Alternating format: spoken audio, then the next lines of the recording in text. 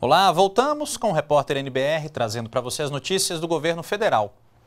O ministro do Desenvolvimento Social e Agrário, Osmar Terra, participou no início da manhã de hoje, aqui na NBR, do programa Agora Brasil, com a jornalista Carla Vatier. Entre outros assuntos, o ministro falou do apoio dado a produtores rurais atingidos pela seca na região Nordeste. Vamos acompanhar um trecho da entrevista.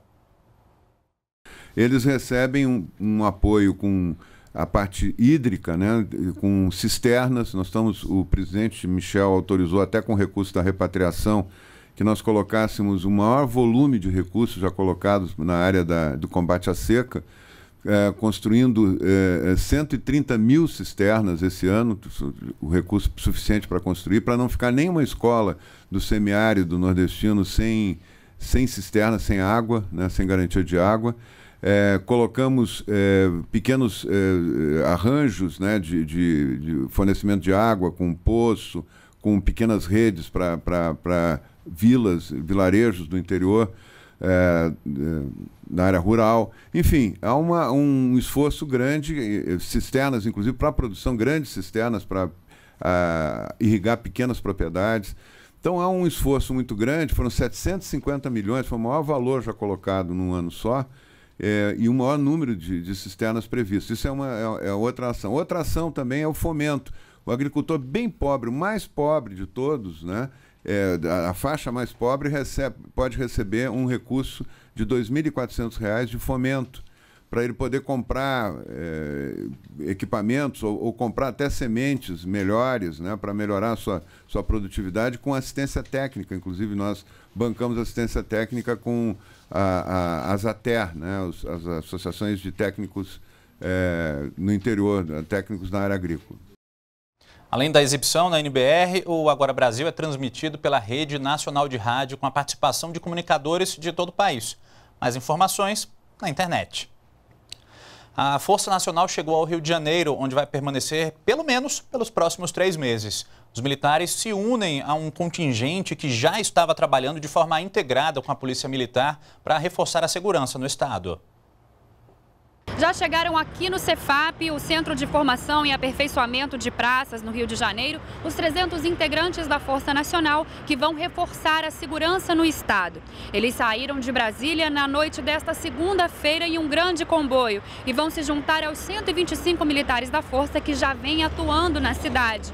O envio das tropas foi autorizado pelo governo federal na última semana, após uma onda de violência que tomou conta da cidade. Um conflito entre policiais militares e resultou em nove ônibus queimados, deixando a cidade em estado de atenção.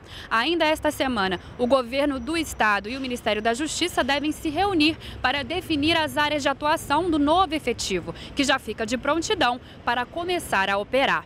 O governo autorizou ainda a permanência da Força Nacional no estado por 90 dias. Do Rio de Janeiro, Natália Melo.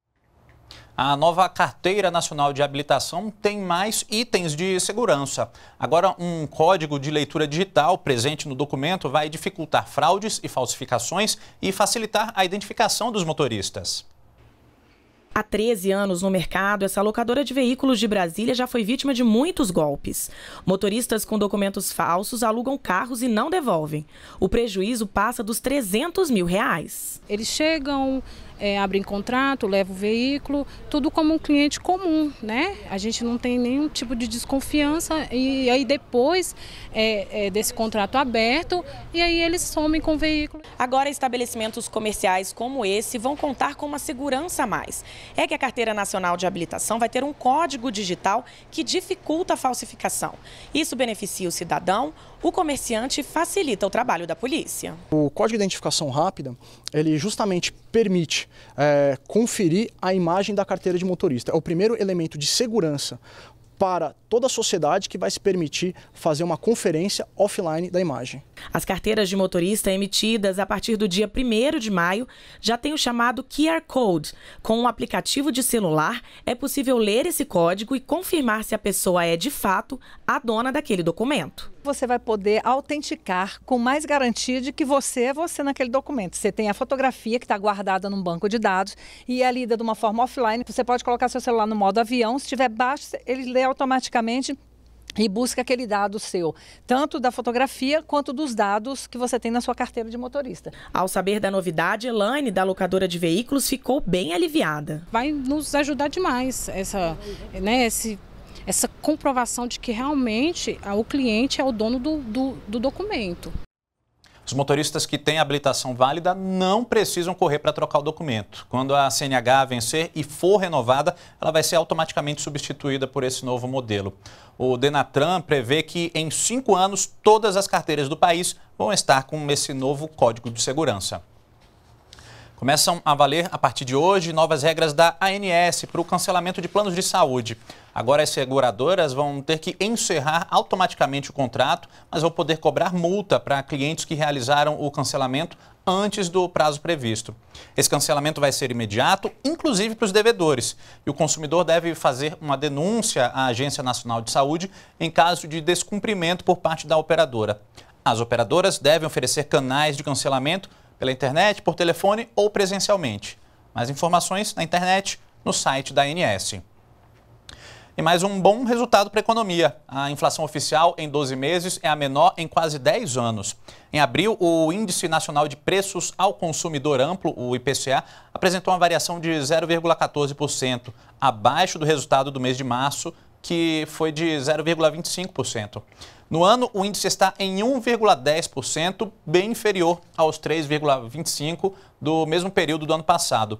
Nos últimos 12 meses, esse índice desceu para 4,08%, a menor taxa em 12 meses desde julho de 2007. As contas de energia elétrica, que ficaram mais baratas em abril, além dos combustíveis, que também tiveram uma redução de preços, explicam essa queda nos índices, segundo o IBGE. Mais de 1 milhão e 300 mil candidatos já fizeram a inscrição no Exame Nacional do Ensino Médio, Enem, nesses primeiros dois dias. A taxa é de 82 reais, mas concluintes do ensino médio em escolas públicas, candidatos de baixa renda e os inscritos no cadastro de programas sociais do governo estão isentos desse pagamento. As provas vão ser realizadas em dois domingos no mês de novembro. Lembrando que as inscrições terminam no próximo dia 19 de maio e devem ser feitas exclusivamente pela internet. A gente fica por aqui, voltamos a qualquer momento com outras informações ou daqui a pouquinho na cerimônia de assinatura pelo presidente Michel Temer do novo decreto para regularização portuária no Brasil. Acompanhe as novidades também nas nossas redes sociais. Continue com a gente, NBR, a TV do Governo Federal.